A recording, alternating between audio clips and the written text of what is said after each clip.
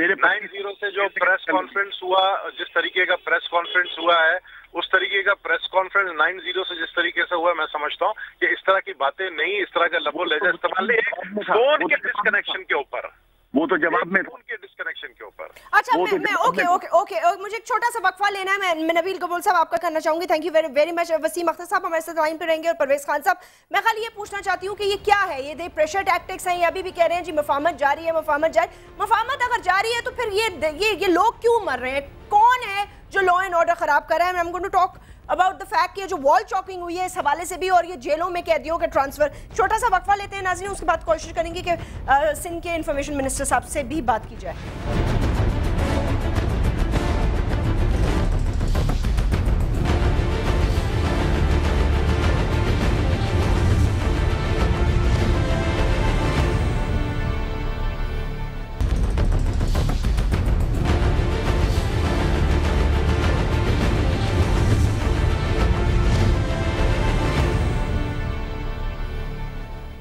Welcome back ناظرین پرویز خان صاحب uh, یہ بتائیے گا، میں uh, آپ سے گفتگو uh, جو ہے آپ کی طرف لاؤں گی. آپ نے پاکستان پیپلز پارٹی کی گفتگو بھی سنی. نبیل گبول صاحب کیا فرما رہے تھے؟ وسیم اختر صاحب کیا کہہ رہے ہیں؟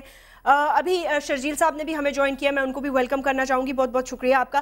پرویز خان صاحب، وہ کہتے ہیں کہ جس دن یہاں خون کی ہولی کھیلی جا رہی تھی، لوگوں کو مارا جا رہا تھا. فائرنگ ہو رہی تھی، لوگ دھن دھنانے پھر رہے تھے، آپ لوگ کھانے کھا رہے تھے اور اس وقت آپ لوگوں کی سٹیٹمنٹس کہاں تھیں؟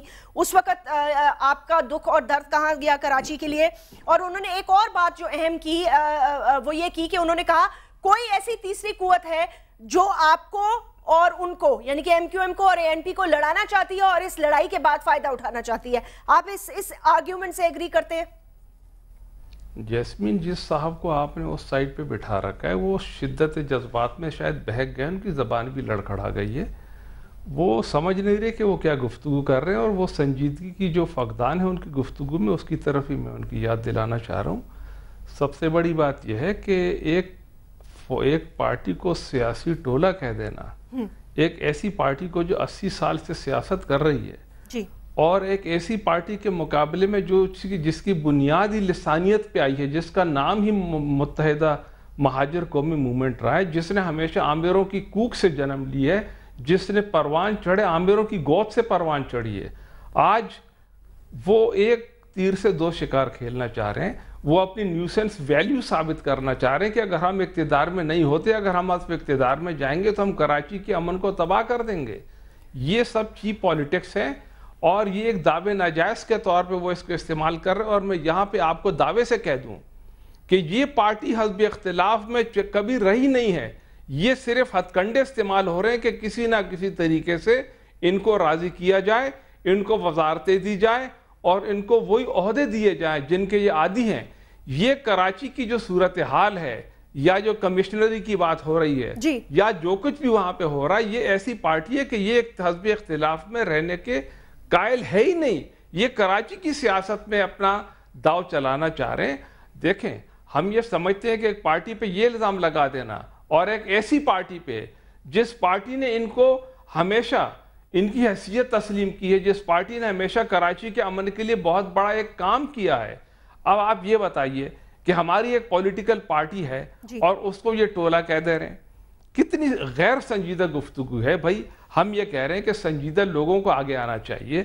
پہلے تو ان کو یہی پتہ نہیں کہ میرے کس پارٹی سے میرا تعلق ہے۔ پہلے تو ان کو یہ معلومات حاصل کر کے آ جانا چاہیے کہ میرا کس پارٹی سے تعلق ہے یا ان کا کس پارٹی سے تنازع چل رہا ہے۔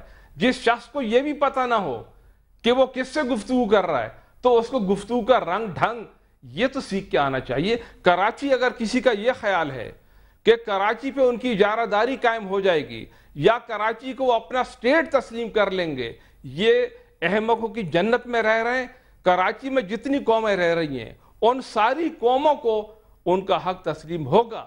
اگر یہ سمجھتے ہیں کہ اس طریقے سے ایک اکثریت کے دباؤ پر یہ کراچی کا امن قائم کرنے میں یہ اتنا بڑا پرابلم بنائیں گے یہ غلط جگہ پہ کھڑے اچھا پرویز خان صاحب میں آپ سے جی میں ایک ایک سوال آپ سے پوچھنا چاہتی ہوں۔ چلے ٹھیک ہے اگر یہ اتنے پرابلمیٹک ہیں یہ اتنا پرابلم بنا رہے ہیں یہ ساری کی ساری سازشیں بھی یہی کر رہے ہیں اور یہ سب کچھ حکومت میں آنے کے لیے بھی کر رہے ہیں تو چلے ٹھیک ہے لیٹ دم بھی اوکے فائن میں خالی یہ پوچھنا چاہتی ہوں کہ کیا چیف منسٹر اور ہوم منسٹر کے پاس رینجرز بھیجنے کے اختیارات نہیں تھے؟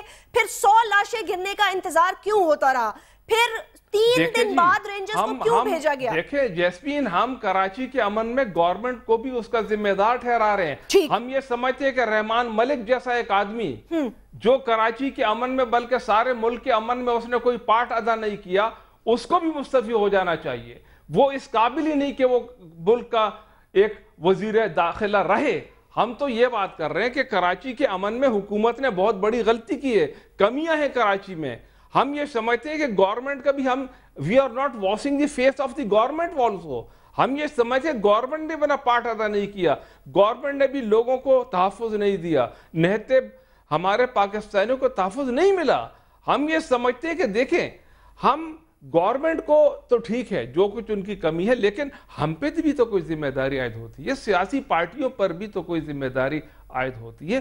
ہم نے اسے ذمہ داری کو برداشت کیا ہے۔ ہم نے خود کو اس کا اہل ثابت کیا کہ ہم وہ ذمہ داری برداشت کریں۔ ٹھیک آپ نے کہا ذمہ داری کی بات کی اور آپ نے کہا کہ آپ حکومت وقت کو بھی الزام دیتے ہیں آپ سمجھتے ہیں کہ ان کی بھی ناکامیاں ہوئی۔ بالکل ہنڈرڈ پرسنٹ شرجیل صاحب ہنڈرڈ پرسنٹ۔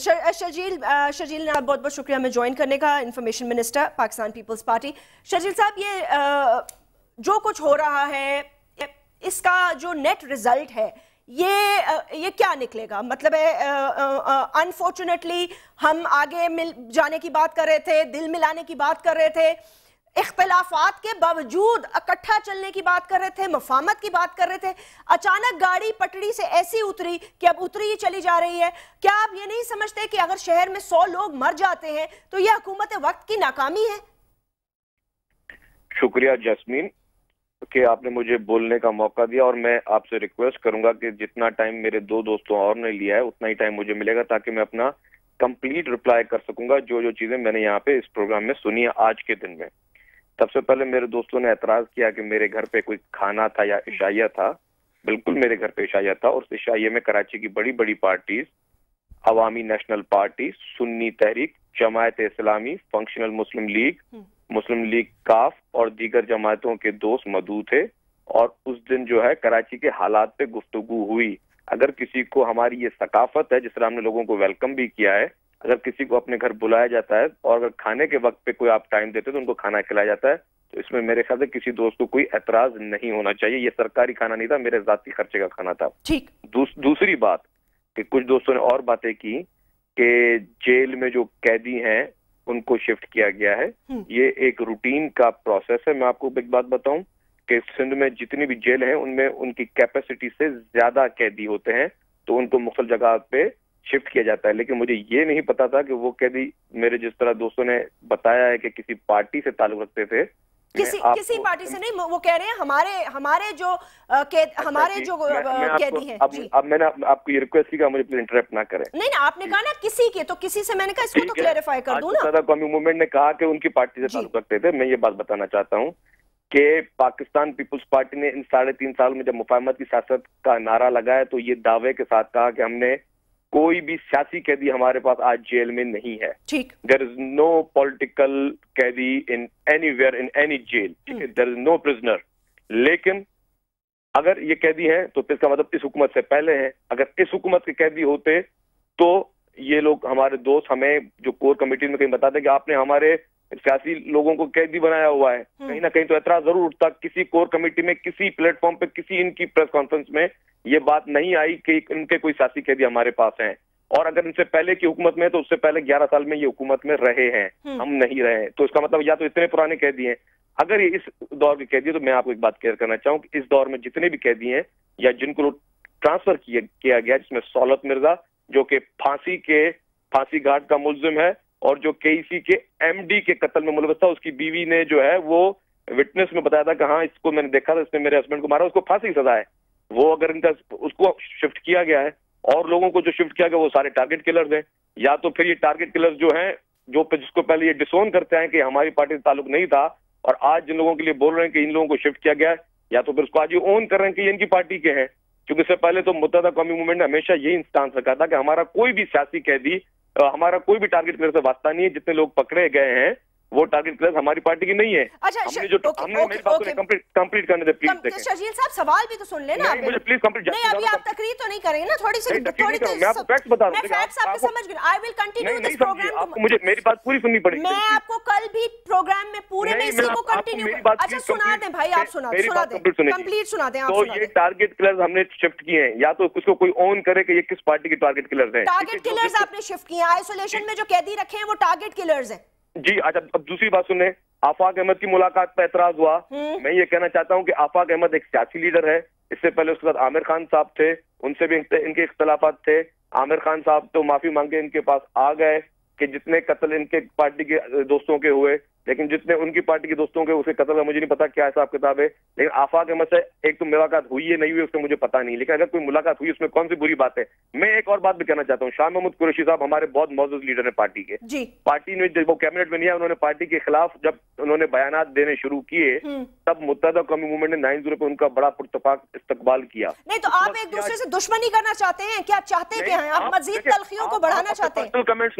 میں آپ سے ایک سوال کر رہی ہوں کہ آپ لوگ ایک دوسرے سے دشمنی کرنا چاہتے ہیں یا نہیں؟ جسمین صاحبہ پروگرام کسی کی فیڈنگ پہ نہیں چلتا پروگرام بیگ نیوٹرل اینکر چلتا ہے تو میں آپ سے کیا میں نے آپ سے کونسا نون نیوٹرل سوال کر دی ہے؟ میں نے آپ سے کہا ہے کہ کیا آپ لوگ ایک دوسرے سے دشمنی کرنا چاہتے ہیں؟ جس طرح آپ گورنمنٹ پہ تنقید کر رہی تھی میں آپ کو وہ بتا رہا ہوں پروگرام ہمیشہ ہمیشہ اچھا اینکر وہ تو کس پہ گورنمنٹ پہ تنقید نہ کروں تو کیا اپوزیشن پہ تنقید کروں آپ کو پورا آگے گورنمنٹ تنقید کرنے لیکن کسی سے نوٹس لے کر پروگرامز نہیں ہوتے پروگرام ہمیشہ جو ہے وہ نیوٹرل طریقے سے ہوتے ہیں۔ تو اس میں کون سا ہم نے نون نیوٹرل پروگرام کیا؟ آپ مجھے بتائیں آپ کے تین لوگ تو آپ کی طرف سے شامل ہیں۔ آپ خود شامل ہیں نبیل گبول صاحب شامل ہیں این پی والے شامل ہیں این کیو ایم والے تو ہیں بھی نہیں اس وقت موجود۔ نہیں آپ دیکھیں یہ تو تین دن کی بات اس سے پہلے کیا ہوا پتا نہیں تھا۔ بالکل یعنی پتا ہے۔ پہلے اب میں ان ڈیٹیل میں نہیں جانا چاہتا میں وہ لینگویج یوز نہیں کرنا چاہ رہا جو میرے دوسرے دوست استعمال کر رہے ہیں۔ کیونکہ میں نہیں چاہتا کیونکہ میں سمجھتا ہوں کہ ہمیں یہاں سے پوزیٹو میسج بھیجنا ہے۔ ہمیں نیچے کی عوام کو آپس میں لڑوانا نہیں ہے آپس میں محبت کا پیغام دینا ہے۔ اس لیے میں وہ ماضی کی تلخیوں والی باتیں نہیں کر رہا۔ لیکن یہ ساری چیزیں ہیں جو فیکٹس ہیں۔ اور جہاں پہ ہمارے دوست نے کہا کہ حکومت لڑا رہی ہے حکومت کوئی نہیں لڑا رہی۔ حکومت امن کرانا چاہ رہی ہے حکومت کا کام ہے امن کرانا کون سی حکومت چاہے گی کہ اس کے دور میں لوگ مرے اور اس کی بدنامی ہو؟